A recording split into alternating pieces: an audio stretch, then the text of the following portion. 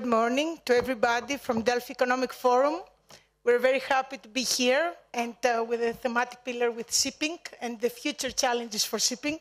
I'm Danae Bezantakou, CEO of Navigator Shipping Consultants and concept founder of Yes Forum, the Young Executive Shipping Forum, and it's a great pleasure to moderate a shipping panel for one more year. I would like to thank the organizer, Mr. Simeon Tsomokos, Yannis Tomatos, Stella Tsomoko, and all the great team that they're bringing us here in the center of Delphi uh, for, a whole, for all these days. This is the third day.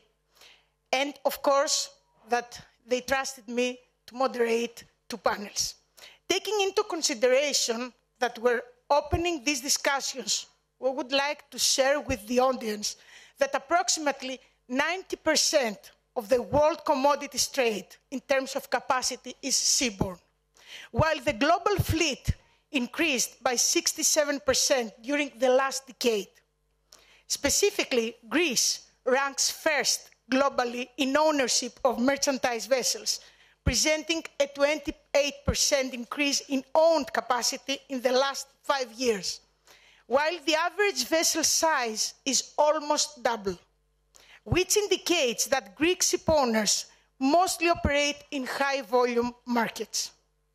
Also, recent data show that Greek ship owners are heavily investing in growing their fleets with new buildings maintaining the average age of Greek owned fleets lower than the global average. At this point, it is useful to underline that Greece represents 0.15% of the global population. Shipping industry faces new trends and challenges, something that we will discuss here today related to the development of technology, the new legal framework and regulations regarding decarbonization, the crisis of human element on board and ashore, following the pandemic and the sanctions due to the war, new trading patterns and energy needs. Allow me to emphasize the fact that our distinguished panelists depict the whole spectrum of merchant shipping, given the fact that we're hosting companies owning container ships, bulk carriers, LPGs, tankers, as well as a ship management company. I don't want to take more time from our speakers, so I would like to introduce you. George Margaronis, CEO of Latsco Shipping Ltd. Thank you, George, for being with us. Stamatis Tsantanis, CEO of Seanergy Maritime Holdings Corp. Thank you, Stamati. Alex Hadjipateras, Executive Vice President of Business Development of Dorian LPG. Thank you, Alex. Jerry Kalogirato, CEO of Capital Product Partners. Thank you, Jerry. Kostas Kontes, Managing Director of V-Ships Greece. Thank you, Kostas. And George Youroukos, Managing Director of Technomar Shipping. Thank you very much all for being with us.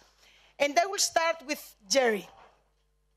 We're constantly reading about decarbonization in shipping, alternative fuels, etc. Once or twice every decade, we're reading, speaking, and discussing about new regulations that most of the times only ship owners have to pay in order to comply with.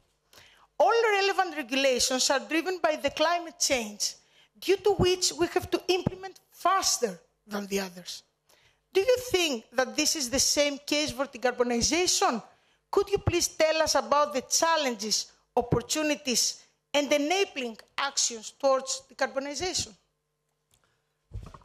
Thank you, Danai. Um, I think the question of decarbonization is uh, going to be one that uh, we are going to discuss um, for the years ahead.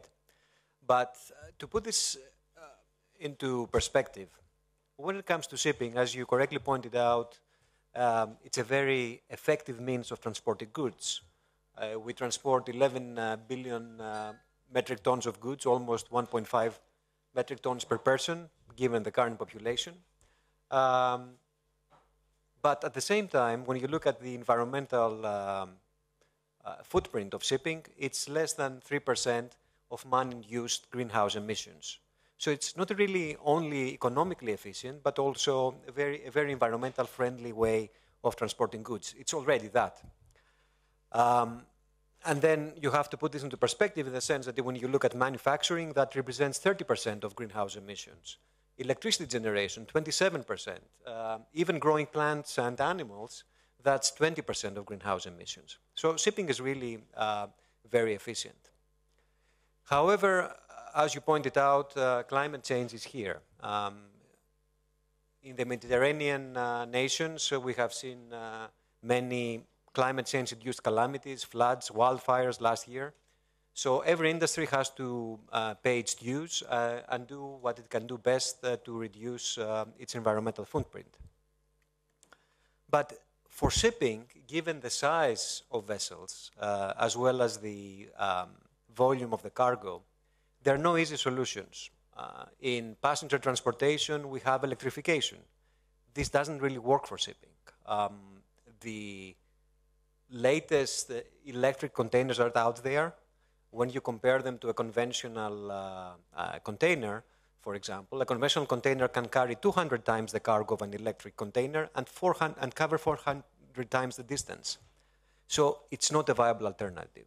When it comes to shipping, liquid fuels uh, will be with us for the short to medium term. Potentially in the longer term, there will be all other technology advancements like carbon capture. But when you look at liquid fuels, conventional fuels are so much cheaper than alternative, alternative fuels um, that something has to give. And there is really a number of solutions that are being discussed. Today, we're discussing about ammonia, methanol, uh, biofuels. But shipping does not work in a vacuum. Um, typically, when we talk about decarbonization, the focus is on ship owners. What are ship owners doing? But in reality, for a ship owner to be able to use alternative fuels, you need the shipbuilders to offer vessels that can use alternative fuels. Shipbuilders need engine makers and manufacturers to manufacture engines that uh, can use alternative fuels. Then, even if you have the ship, you need the infrastructure, and more importantly, you need also uh, the supply of these alternative fuels. So what I'm trying to say is that in the end, shipping decarbonization, it's not just about shipping or ship owners. Um, there are many links in the chain, and nations, governments, as well as supranational organizations will have to play a significant role in getting all stakeholders, including charterers, uh, who are the ones that benefit from the transportation of goods, to contribute in getting the R&D that we need, to get the innovation that we need, so that potentially um, we can use these alternative fuels in the future. And ship owners, as you correctly pointed out, will follow. Um, we have ordered a number of ships. Greek shipping, for example, has really uh, managed to replenish its fleet and has a very modern fleet. We have um, LNG, which is a viable alternative. It reduces greenhouse emissions by 20 25%, and there is the infrastructure we, have, we are using as dual fuel. Right now, 35% of the existing order book of the new ships to come will be using LNG because it's a viable technology. So I think what we really need to see in, when it comes to decarbonization is all stakeholders to play a significant role.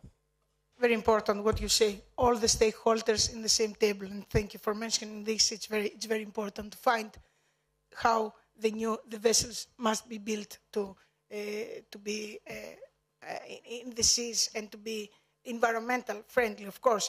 George Youroukos, fuels and technology. Which fuels and technology technologies will best ensure vessel safety and competitiveness towards shipping's energy transition? Yes, thank you. As Jerry covered very well the, the subject, I will say that uh, right now no one knows what's going to be the next fuel there is various options like biofuels, all the way to nuclear power, you know, all in between. The question is not just which engine that will be produced to burn this fuel, but more the logistics. For the containers, it's far easier to bunker the ship, you know, to put fuel on the ship, because you know the schedule of the ship. But for the other types of uh, ships like tankers and bulk carriers, especially bulk carriers, the, it's more difficult where the ship is going to find the fuel. So it's a matter of finding the right fuel, producing it economically, because some of these uh, alternative fuels require a huge amount of electricity, which make it, you know, really not that viable because if you're going to use so much energy to produce energy, then at the end of the day, the footprint is a, is a holistic approach.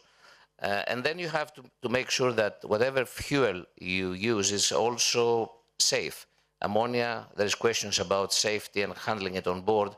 Um, more, more likely, in my view, is uh, in the foreseeable future, we will see carbon capture mechanisms for the existing fleet as, uh, as a magnitude. Some people say that in order to uh, change the whole, the whole fleet into the new technology, we're looking at 3.5 trillion dollars. So it's a big investment. Won't come for the next, I think, one or two decades. Uh, we will not have the whole fleet only completely changed. So I think that we have to all start to think that goods that are going to be transported will have to carry this uh, cost uh, in order for the fleet to change. We will have more panels of shipping that they will analyze the shipping of 2030, 2040, but yes, it's very crucial uh, until 2030 what we will do in order to cover the regulations for 2050. George Margaronis, a lot of discussion about sanctions. In which way sanctions affect the tanker companies? So just to put things into perspective slightly, uh, Russian oil accounts for 10% of, uh, of, seaborne trade. Uh, 3.2 million barrels a day are transported of crude and something like 2.3 million barrels of, of products. Uh, half of that ends up in the, in the European Union. So the sanctions have had quite a significant effect. Uh, on, a, on a micro level, I would say, short term, what we're gradually seeing is a change in trade flows, uh, gradually away from, uh, from Russian products and, uh, and more to come. Okay. Uh, and more to come from, uh, from the US, from the Middle East, and other areas. Um, so, so, that's something we're seeing already. Obviously, the US and Canada have prohibited the import of Russian oil altogether. The UK has committed to gradually weaning itself off Russian oil uh, by the end of the year. The European Union has, has made noises, but nothing specific. So we're gradually seeing this, uh, this change uh, in, in trade flows. Uh, that's a positive, obviously, for tanker owners because it increases ton mile demand. And, and that we're already seeing as having a positive impact on rates. Um, I'd say additionally, the fact that much of the uh, Russian fleet or Russian owned or controlled uh, tanker fleet uh, is, uh, is sanctioned or is, is having problems trading is, is another reason, uh, a secondary reason potentially for, for an improvement in tanker rates. but going forward, I think the fact that we are now clearly in, a, in, a, in an environment of high energy prices is a reason for concern uh, and a concern for tanker owners as well, because this is likely, if it persists much longer, to basically lead to oil demand destruction uh, and higher rates of inflation. In turn, that will lead to higher interest rates and potentially uh, low growth rates, which again is detrimental to, uh, to tankers. Um, now, we're, we're also, uh, as a tanker company, facing challenges on an operational level. Uh, and they relate to things like uh, the uncertainty of war risk insurance and what the premiums are likely to be uh, for a particular call. Um, things like uh, logistics that relate to uh, the difficulty in sourcing Ukrainian crew because of the situation in the Ukraine. Uh, even on a more human side, the coexistence on some ships of Russian and Ukrainian crews uh, does is something that you know is a sort of is, is, a challenge of sort. But I think the major challenge we're, that we're facing is really trying to understand uh, what is being sanctioned, who's being sanctioned, what trade is being sanctioned, uh, and that's not entirely clear. Uh, measures are taken or, or announcements are made almost on a weekly basis. Uh, and, and, it's extremely time consuming and expensive to seek legal advice in terms of what one is permitted to do and what one is not permitted to do. I think the final point I would make is, is, is that of self sanctioning. Uh, and we have faced challenges with people taking it upon themselves to, uh, to take a position in terms of whether one trades to Russia uh, or not. And uh, as far as I'm concerned, at least, you know, if it's legal uh, and we need the oil in Europe, and God knows we do need that oil to land in Europe, we need to be pragmatic. Uh, we need to be pragmatic and to let the owners do their job and not to interfere really with the uh, ship's operations. I will keep that the European Union must be more shipping oriented uh, because it's, it's very important to have European Union into the dialogue and understand the meaning of shipping because Greek shipping controls 20% of the worldwide trade and 60% of the European trading. So it's very important to, uh, to understand it a little bit more. Alex, how can smart technologies and systems help shipping companies maximize their efficiency and profitability? What are the drivers and barriers that shipping companies are facing, according to your uh, opinion? Where Greek shipping stands at the moment, uh, um, from your perspective? Thanks. Thank you, Danai, and I'm delighted to be here, and I thank the organizers. Uh, I would like to start off by echoing some of George's points about uh, Russian and Ukrainian seafarers, first of all, because although we're talking about the future of shipping, uh, it's a very real, uh, live, breathing problem that we face today with uh, mixed crews. Uh, we can't separate the crews completely, so we're working very hard with the vessels to keep the situation calm on board. And in many cases, it is better than it appears in, in the foreign press. So just to, to comment on that, that when we talk about human element, it's a very real live problem that we face today.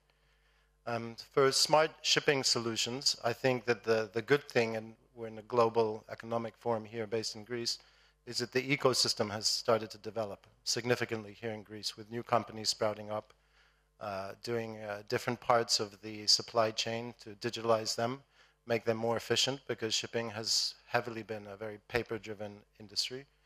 And um, finally, tech has caught up with shipping, so they've realized that there's time for a disruption. I think that the challenge for us is there's a plethora of new companies, and it's who do you work with, how do you work with them, how do they integrate, and also there's still an issue of connectivity from on board the vessels. Uh, we cannot get the data as rapidly as we would like, and, and there needs to be some standardization there.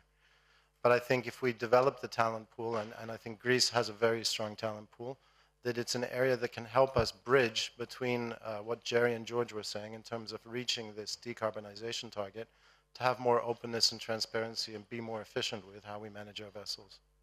And to add that also now uh, there's more focus on the safety side and, and commercial as well when we talk about smart shipping too.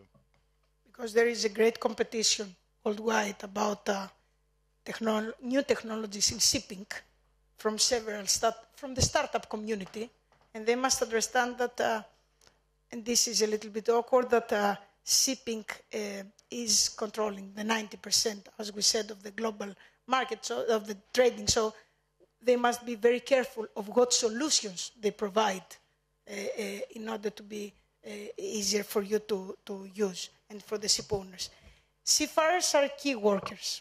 Kostas Kontes. There is no one in shipping that could deny this fact because during the pandemic, seafarers were probably those who, have, who were affected the most and those who kept the world go round.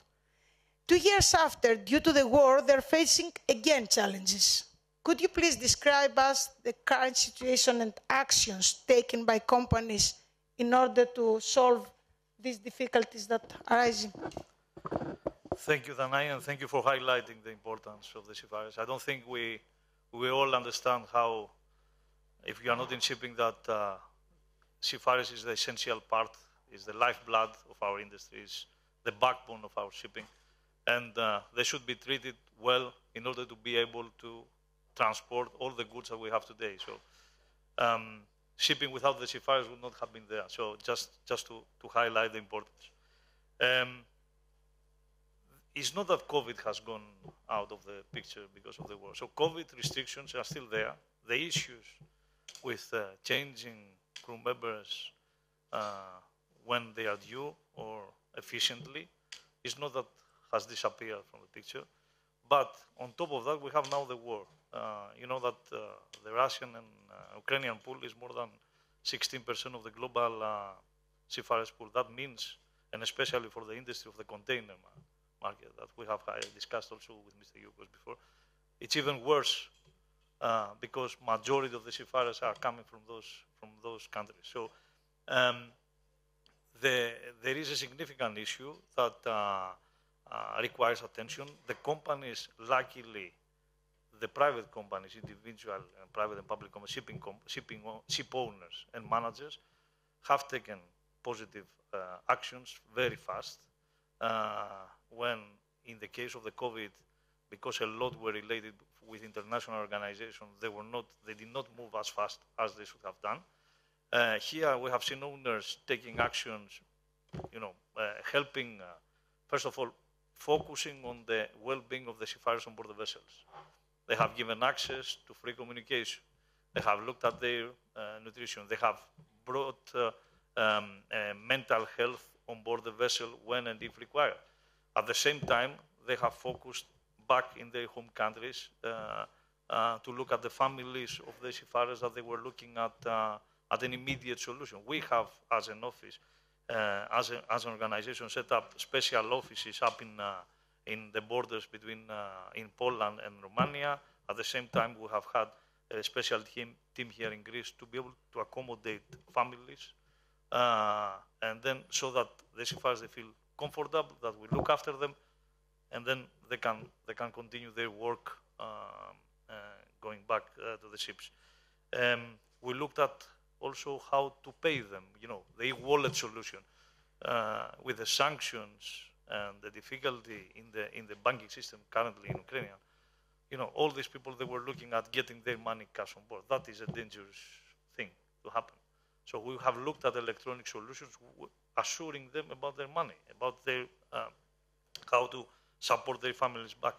And then uh, at the and then the last thing, uh, which I think is important, is that uh, uh we have run behind uh, making a, a, partnership with ITF, making sure that ITF is uh, behind supporting those essential workers, making sure that the essential workers understand, so the, the community understands that those are essential workers and and, and, and, and find uh, a way to support. Uh, because shipping does not have a specific country. I mean, uh, this is the problem. It's not local, it's international. So this causes big problems. Thank you.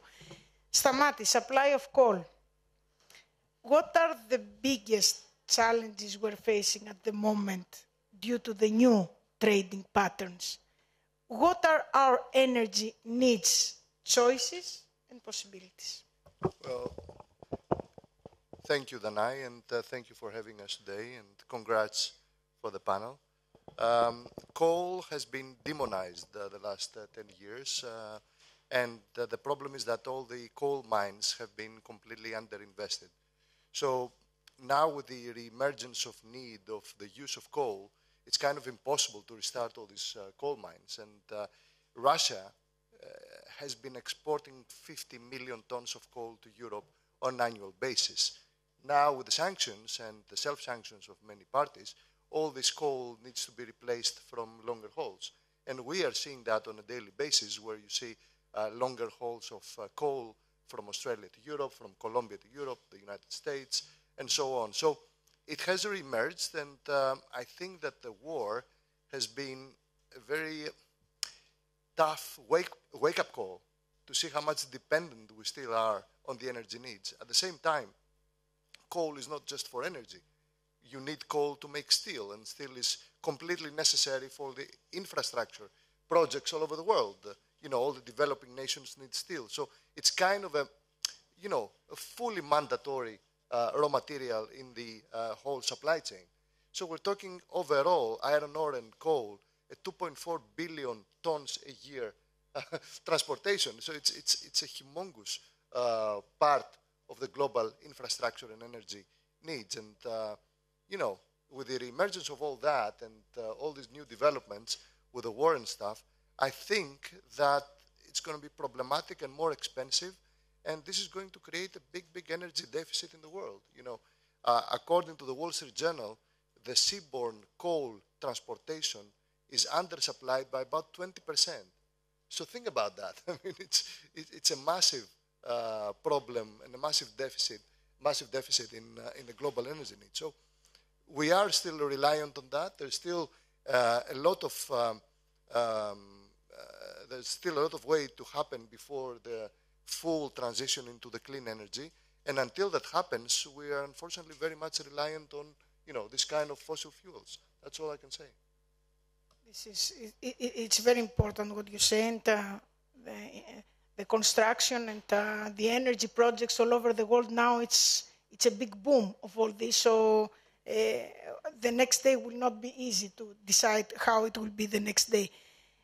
Jerry, I will also ask you about the war because there is a big impact of the Russia-Ukraine war uh, in the world energy map, as also Stamatis said. But uh, how Greek shipping can assist with providing Europe with energy security?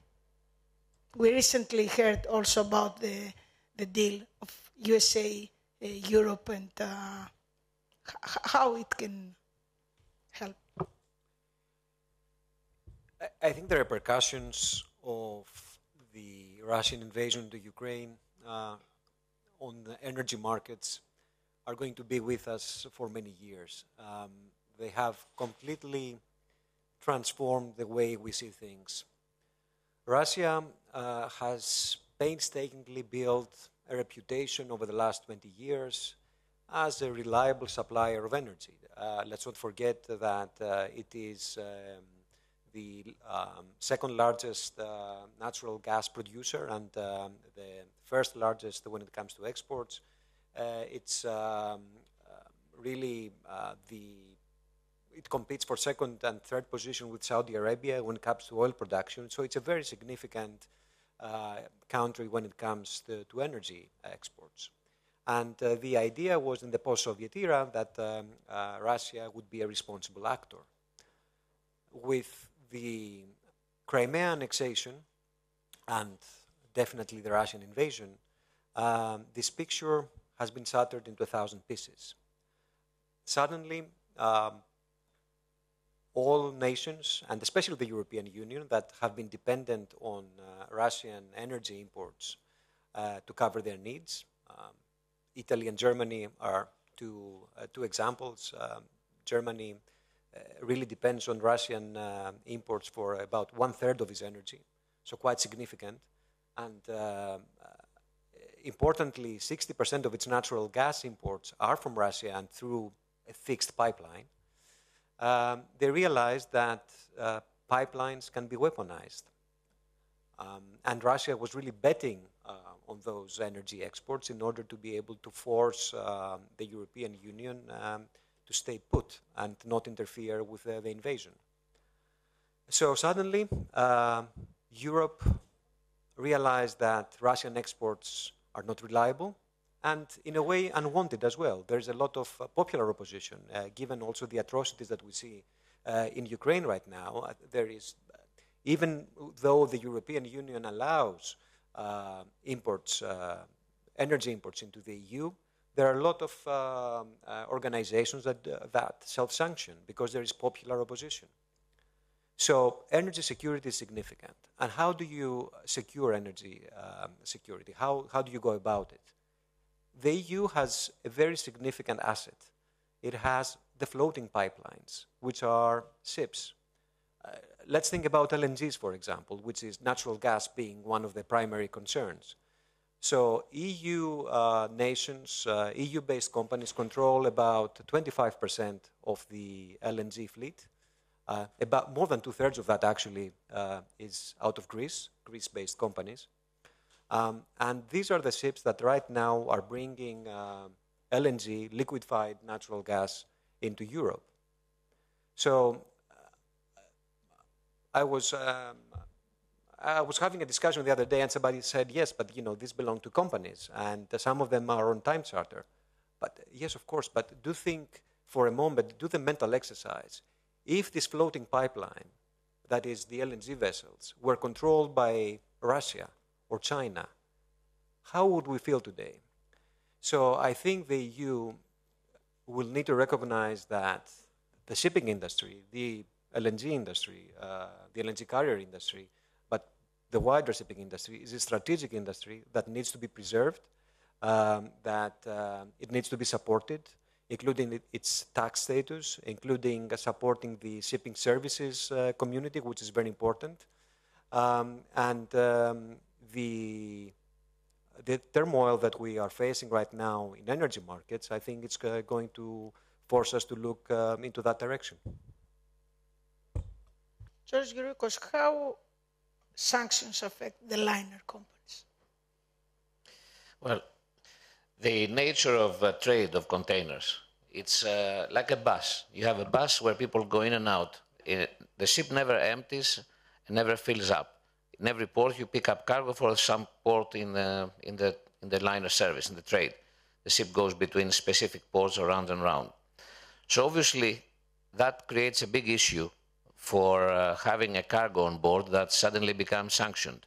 So in this respect, liner companies are taking a view of uh, self-sanctioning well before to take the risk of uh, you know having a cargo that they would have to deviate and uh, you know offload because it's sanctioned. So obviously they're not going to sanction ports. That's the obvious uh, uh, result. But apart from that, the liner companies are are more sanctioned than uh, the others in order to avoid this issue. If you have a tanker or a bulker, you know where you're going to pick up and what you're going to pick up, and it's sanctioned or not, you, you know what you're doing. In a, in, a, in a liner business, you might end up having sanctioned cargo on board without having control over it. So that's what the liner companies are doing. Generally speaking, uh, you know, sanctioning cargoes also is, uh, is an issue of humanitarian. So some cargoes that contain, you know, medicinal food have to be transported, and these cargoes are transported by containers. So these cargoes are not sanctioned throughout the years, not just in this war, but in other wars with uh, Iran, Iraq, and all this. Thank you very much. Very important. George Margaron, it is a fact that uh, COVID-19 and the pandemic have changed uh, our lives and our everyday life. I believe that now we are uh, a, a facing a rethink of our approach towards remote working. Yeah. How is this depicted on the shore personnel? So I was, I, I'm one of these people that I think when the situation gradually started to, to normalize, I was absolutely hell bent on everyone coming back to the office. I think probably in part because during lockdown, I found that a really difficult period to cope with uh, from a communication perspective, just communicating on a one direction, on a one dimensional level with everyone through a screen or on the phone. Um, I found that particularly challenging and even awkward sometimes. Um, bringing in uh, newcomers to the company, I, you know, during that period of time, my eldest daughter started work, and I remember the uh, the challenges that she faced. Um, you know, starting in a new company as a, as a new member of a team, not being able to turn up to the office, not being able to, to talk to people uh, face to face. And I think one of the other things that we lost over that period of time was the sort of small talk or the informal talk, the brainstorming amongst us. Uh, and that all brought a, a, a real fatigue, I think, uh, to many. Not, and also, I would say, also the, the, the erosion I felt the gradual erosion of corporate culture. That was another challenge. So, but I think I've, I've been probably put under a bit of pressure by my colleagues to rethink uh, my position, and, and, and we're actually in a phase where, on a trial basis of, of two quarters, we're going to go with a sort of, uh, uh, a, a, let's say, a hybrid. Um, a hybrid solution. Obviously, it depends on, on the role people have in the company uh, longer term. But uh, that's something that I, you know, I think we've we've got to maybe uh, think again about. And, and although I was uh, very much against it, I think you know that was more driven by my own personal experience rather than uh, the way that uh, my colleagues and, and, and the employees of the company feel about maybe having a little bit more flexibility uh, to not work from home, but work not work not from the office. So you know that would mean basically working from wherever they are. Um, so yeah, that's. We usually say that in shipping you never know everything. Shipping needs brainstorming, and brainstorming cannot be done online and exchange of views of all the people in the office. So yes, I, I also believe that we need to be face to face like we are again this year, and we're very happy. Alex, I will I will take this uh, discussion to say that still that uh, what do you think that is missing from smart shipping solutions? You are monitoring many smart shipping solutions, but what you, where do you believe we must focus on? Um, so the, the investment is there. This is going to be a $320 billion market by 2030. And you see companies like Microsoft investing in, in Nautilus, so it's gone mainstream. What I think is missing um, is when you look at people and processes, on the other side, you can have the best solution in the world to help you reduce, I don't know, your uh, consumption daily. But how do you uh, uh, get the insight from that and then translate that to top management? Sometimes it's like you need to hire a data analyst to interpret what the platform is giving uh, back to you. So I think that from a user experience and adoption standpoint, there has to be some development and uh, evolution on the use case internally with shipping companies to kind of connect the, the dots there. And then I think as we see sensors and artificial intelligence becoming more mature, we are reluctant as ship managers or owners to put new hardware on board vessels. I mean, very, very uh, sensitive about that, touching the vessels. But you know, with the second-hand vessels, we are looking in, in, some cases of doing that, for example, to improve navigational safety. Uh, and, and you see the new building, the shipyards, incorporating some of these technical solutions into the platforms that they use. So again, you need a standardization. I mean, I think there's hundreds of companies now, but uh, both talent and then a kind of, let's say, improvement on the processes, the functional flow, that, that would help in the future derive the benefit of, of these solutions, specifically with regards to reducing consumption and planning how you move your ships more efficiently. Very important. Kostas, at this point, we have to underline that uh, those 150,000 seafarers were the key catalyst to the establishment of the Greek shipping miracle. What is your opinion about the young generation of seafarers and uh, what you would advise a young student that would like to follow seafarer's profession. This year we have many young people also in the Delphi Economic Forum. And what the companies need to do today in order to secure seafarers' safety and training, which is very important. Can I start, can I start with my concern? And my concern is that we are going to export the know-how and the knowledge to other continents. Uh, we, I mean, Greek shipping, as you said, has been based on the Greek seafarers, on the charisma that we have in managing, in the, in the know-how, in the emphasis that they are putting on, on the troubleshooting. And, um, uh, and I'm, i must admit that uh, my concern is that, you know, with less and less people going at sea, Greek uh, officers going at sea, that this will become uh, a critical uh, part for the future of the ship management out of Greece. Um, I think that we need to escalate and highlight the benefits and advertise. The Ship Owners Association has very highly, very nicely, has gone uh, out and made a campaign to highlight the importance and how how the, the, the benefits of the of the uh, of this profession um, the income that is unique compared to an equivalent work ashore, uh, with the issues, the nostalgia about uh, their home uh, and, the, and the difficulties, but you know, with the benefits and the future highlighted back in the in the office ashore. If someone is very good, you know, there is certainly a position uh, at uh, at a certain part of his uh, career to come as well and support the offices. So I think all these benefits have not been very highly uh, clarified. On the other hand, I think that uh, um, the government and the European Union has to give incentives uh, because yes, we know that uh, uh, you know keeping Greeks on board the, the vessels uh, is an expensive Uh, outfit. A lot of uh, you know it's not an easy for a lot of owners that in the past they were operating in marginal incomes uh, to maintain.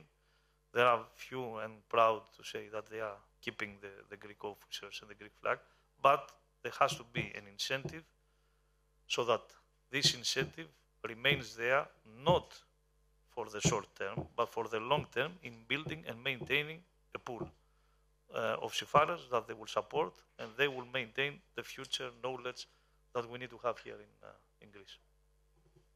We also mentioned it in, uh, they also mentioned it in a panel of tourism before we must bring tourism and shipping more into the schools. The young Greeks, they have to learn about the shipping history. Of course, they will choose if they will follow the shipping world, but uh, it's, it's very important. We have such a great history, and uh, I, I, am speaking into, in the schools the last 10 years, and uh, they, they are very happy to find out that Greece is number one in the world because even many Greeks do not know this. So it's, it's very, very important to maintain the, to, to em, em, emphasize the importance of the Greek ship and of course of the Greek maritime cluster. Stamati, how are we going to reduce emissions on the current fleet? I think that this is the, the questions of, or the question of the millions or billions. how can we achieve this in the next five years? Uh, that, that's a great question, Danae. Well, just to put things into perspective, dry bulk shipping in particular is transporting iron ore, coal, grains, uh, soya beans, fertilizers, so commodities and raw materials that are absolutely required for the infrastructure, for energy, for feeding the population. So we're talking about fundamental stuff here, right? So come to think about it, about two-thirds of the global dry bulk fleet, that's about 7,000 ships, have been built 2012 and earlier than that. So you cannot possibly replace 7,000 ships in the next five, six, seven years. It's, it's kind of, you know. So I'm not sure that people have really thought through what they're trying to push into um, the global shipping community right now and to the owners. You know, the ship owners. It's, it's kind of impossible to replace 7,000 dry bulk ships and God knows how many other tankers and stuff. So it's kind of a crazy thought altogether. What you can do is that you can make the existing fleet a little bit more efficient or sometimes, you know, quite more efficient. We have been installing energy saving devices and we have been investing heavily on the existing ships to make them more efficient. And there are ways, there are solutions, custom made solutions for every ship that is not necessarily the so called eco ship. At the end of the day, the best solution is to slow down. If you slow down the global fleet, it will eventually, you know, emit less and less CO2 and greenhouse emissions. So a combination of slowing down the fleet as well as installing sophisticated energy-saving devices and new technologies, um, like it was just said, I think it can make the fleet more and more efficient, less carbon intensive, it's not going to be carbon neutral by tomorrow, but it's certainly going to make a big, big impact.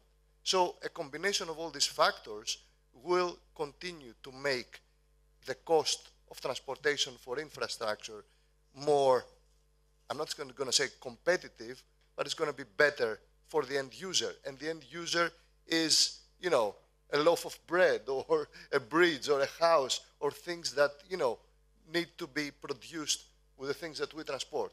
So having all that in mind, energy saving devices and slowing down is a solution from now until 2030. Very important. And uh, because we finished the round of the discussions and we are on time, we will not steal more time, but I want to, uh, to address you a question that it's a little bit weird, but I would like to hear it. Let's assume that next year we are the same panel again, exactly the same, what you would like to achieve in the next 12 months with what, how can I say, different uh, uh, opinions, I mean, or different uh, results, uh, how you would like to come back, what you would like to achieve in the next 12 months and come back here to the goals to accomplish and come back and share with us, Jerry. I, I think we have um, touched upon all uh, the main topics that are, um, at least in my, in my, mind. Firstly, I think we should make steps um, in terms of decarbonization. This means uh, adopting new technologies. This means um, investing in uh, new uh, ships, new buildings. We currently have uh, a program of excess $4 billion uh, under construction across different segments. Um, and hopefully also get more stakeholders um, to, uh, to play along and have a, a, more clear path and framework towards decarbonization. That's one. Secondly, I think digitalization, very important. We need to make steps. Uh, as Alex pointed out, there is a lot of progress being made. Shipping uh, was, is only now catching up, and I think uh, it's going to, to be to radicalize the way that uh, we do business in the future. And, and thirdly, I hope that we will have the COVID crisis behind us. Um, we talk about seafarers as um, frontline workers, but nations um, do not treat them in that way. We still face um, like a, an endless um, um, list of policies, restrictions, and, and so on uh, for um, crew members uh, who are really only uh, trying to get home or get on, on board the ship in order to, to service um, um, the worldwide trade. So we need to solve the, this issue. It's, uh, in a way, it's a shame that we are two years uh, into this and we are still uh, struggling with that. Alex? I'd like to improve further the, the gender diversity in shipping, talking about the talent pool for seafarers. So we're building a female officers and cadet pool. Like to progress the company on the ESG journey, like I've talked a, bit, a little bit about S and G, to really align kind of the purpose of the company with uh, some of what we're trying to achieve and, and the profits we want to generate. And uh, to George's point about being on in person, I think we need to visit the vessels more, which we haven't been able to do before, and, and get a handle on, on their condition, uh, which we've been doing remotely as best possible, but now we can do in person. Kostas? Yeah, I think uh, one year is, is, is, a short period to wish something very big, but I think normalizing our operation, which we have been struggling for the last three years, uh, as Alex said, you know, getting on board the vessels, meeting our people, uh, and eventually for the first, the next path is having a clear path on the decarbonization. We don't know tomorrow, tomorrow what will be the fuel, how to train our people, and what our seafarers should be uh, trained with. So this, in one year, we should clarify that this will happen. Stamati? Well, the last few years, um, we've gotten um, used to saying, you know, health and uh, peace. but I don't want this to sound like a beauty pageant uh, Q&A. Uh, in my opinion, yes, we need to normalize our operations again, both at the office and on board the ships. I fully agree about our crew members that they need to be able to, you know, get on board and leave the ships as quickly as possible. Most importantly, for the next uh, few years and especially the next 12 months, a better plan for decarbonization where all the stakeholders will be fully, fully part of that. Because right now, there's an absolute, you know, disarray in the views of, uh, you know, what's going to be the thing of tomorrow, whatever that is. So a better plan, in my opinion, and above all, you know, health and peace. And peace. George? Well, our industry in containers has been uh, great for the last couple of years, so I, I'm happy with that. I don't want uh, more, uh, you know, more money. I just want peace. Uh, I'd like the, you know, people to have, uh, you know, no more war, so our seafarers can focus uh, on, uh, on, on their business and not to be, you know, afraid. It's a horrible thing to be afraid in work. And uh, also, I hope that the, the various organizations will uh, settle this issue with decarbonization, because right now it's still in the air. Who's going to pay what and all of that. So that will give us certainty on how we move ahead. So these, uh, these two are my wishes, and uh, of course, health for everybody, because without it. Very important. I would say from my side, as uh, Stamats George uh, said before me, just the return to normalcy would be great. Not to have to worry about wearing masks and, and being able to, you know, just, just return to what life was not, not so long ago. Uh, and from a business perspective, what I would say is, is I'd like to see uh, our industry uh, embrace the younger people more. I'd like uh, shipping to become a place that is uh, that lists highly on, on industries that young people um, want to uh, want to be part of. I think we, we need to work quite hard to understand the younger generation.